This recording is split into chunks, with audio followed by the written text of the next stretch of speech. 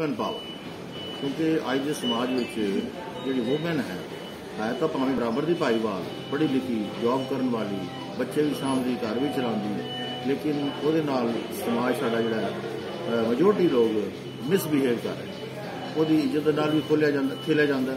ਉਹਨੂੰ mentally torture ਵੀ ਕੀਤਾ ਜਾਂਦਾ।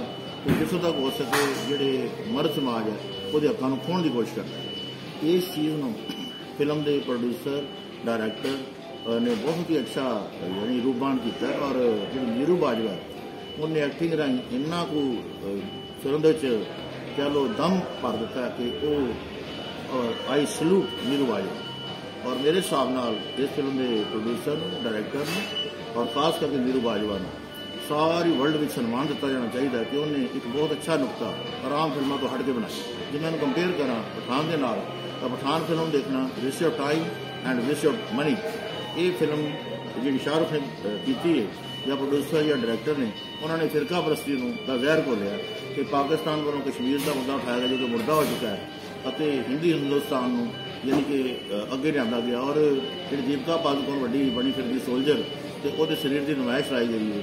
ਇਹ ਕਾਹਦੀ ਦੇਸ਼ ਭਗਤੀ ਹੈ? ਇੱਕ ਪਾਸੇ ਦੇਸ਼ ਭਗਤ ਦੇ ਪਾਸ ਤੁਸੀਂ ਅਯਾਸ਼ੀ ਕਰਦੇ ਹੋ?